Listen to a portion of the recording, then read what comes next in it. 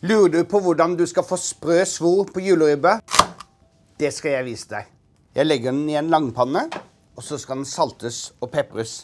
Mitt tips for å få en smakfull ribbe er å salte og pepre den dagen før. Og Da bruker jeg ca. et par teskjeer salt per kilo ribbe. Gni det litt. Og så er jeg glad i sånn grovmalt pepper. Har jeg godt på. Snur den og så litt pepper på toppen. Og Du ser at jeg ikke har skjært opp svoren. Det er en grunn til det, for det er mye lettere å skjære opp svoren når ribben er dampet. Så skal vi ha i en halvliter vann. Og så har jeg laget et dobbelt lag med litt tykk aluminiumsfolie som skal bli som lokk. Så setter jeg det ordentlig tett, tight inntil her. Inn i ovnen. 200 grader varmluft i 50 minutter. Nå har eh, ribba dampet i 50 minutter. Så tar vi av aluminiumsfolien.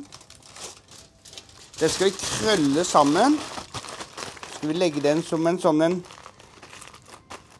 ball.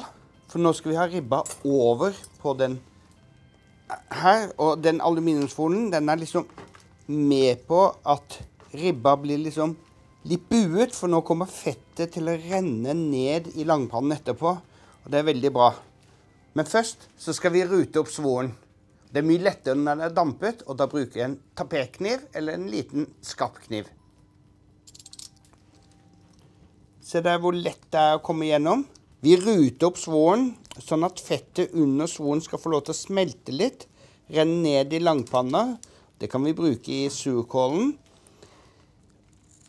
Og så blir svoren mye mer sprø. Det blir kjempefint. Så det hvor enkelt det var? Jeg er litt stolt av meg selv òg. Så setter vi den tilbake på langpanna. Nå skal den inn i ovnen. 1 12 time på 180 grader over- og undervarme. Nå har eh, ribba stekt i 1 12 time. Det tar tid å lage god juleribbe, men det er verdt det. Så har vi all den deilige ribbekraften her. Den skal helles av nå. Det er litt ribbefett, og det er mye god smak til å lage sauser. Da er den av. Og så setter vi ribba tilbake igjen.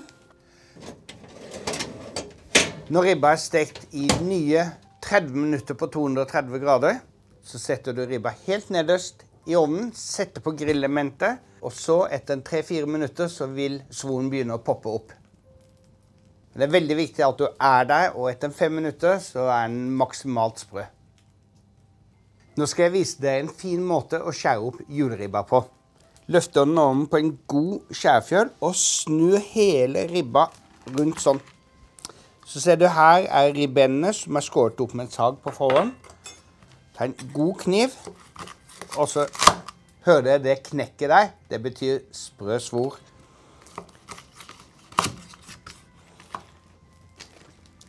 Så er det å skjære ned mellom ribbendene og knekke helt sånn når du kommer ned mot svoren. Knekke igjennom. Og hvis du syns dette er veldig varmt, og det skjønner jeg, bruk engangshansker.